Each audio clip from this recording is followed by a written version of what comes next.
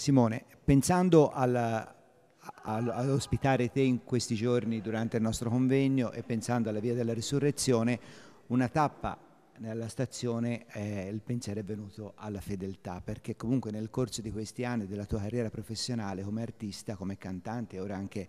come artista anche di teatro, hai sempre avuto un occhio di riguardo verso gli ultimi, verso i poveri e quindi la parola, proprio, la parola fedeltà per noi sembrava quella più importante. Cos'è per te la fedeltà? Allora, innanzitutto credo che la prima fedeltà a cui bisogna, bisogna fare onore è al proprio essere, alla propria personalità e quindi un lavoro continuo di ricerca interiore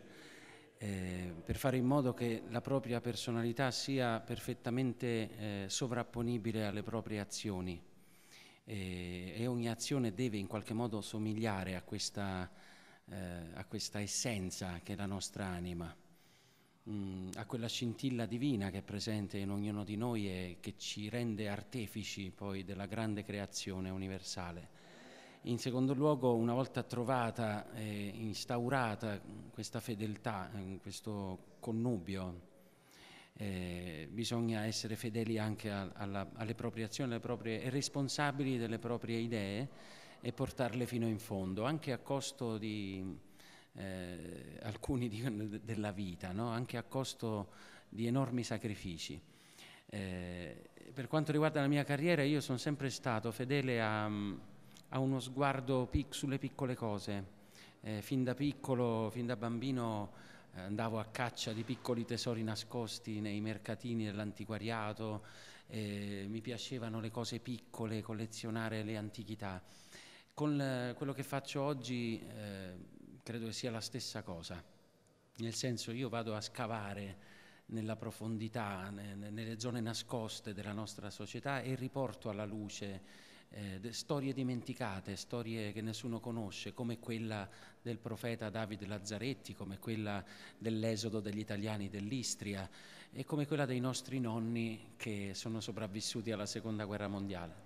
Stasera eh, sei qui con noi proprio per presentarci questo spettacolo dedicato a, al Cristo dell'Amiata e a Davide Lazzaretti. Cosa ti ha colpito di lui e perché il senso di questo spettacolo?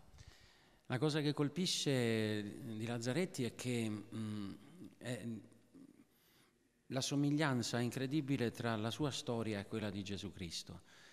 Solo che Davide Lazzaretti venne scomunicato ehm, e di conseguenza censurato dalla storia ufficiale per tanti anni e, e ovviamente mm, cancellato da qualsiasi memoria. Eh, la sua comunità delle famiglie cristiane mi ricorda molto l'atmosfera che, che si può creare in, anche in un luogo come Romena, eh, dove le persone cercano un contatto con gli altri e cercano di elevare il proprio spirito attraverso il confronto con gli altri. No? Lazzaretti è, è, il racconto di un cammino eh, dell'uomo che va alla ricerca di Dio e in questo credo che, che, sia universale la sua storia, sebbene poco conosciuta, senza poi parlare del fatto che lui fu un, un precursore per l'epoca in cui visse, che stiamo parlando di metà Ottocento, eh, nella comunità che aveva inventato, aveva da, dava il voto alle donne, le donne avevano i più alti incarichi di responsabilità ed è la prima volta nella storia d'Italia che una cosa del genere avviene e poi una società di mutuo soccorso con la cooperativa di consumo per l'assistenza degli ammalati, degli orfani, delle vedove. E attraverso anche il lavoro in comune, come dicevo prima, eh, per, si permetteva, era un esperimento, era un prototipo, no? lui pensava che attraverso la comunità gli spiriti potessero elevarsi al cielo e in, per questo, per fare questo scelse un luogo incredibilmente affascinante come il Monte Labbro,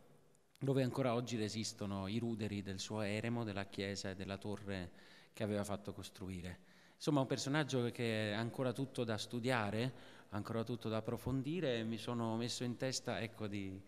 di, di riportare la tessera nel mosaico della storia italiana, no?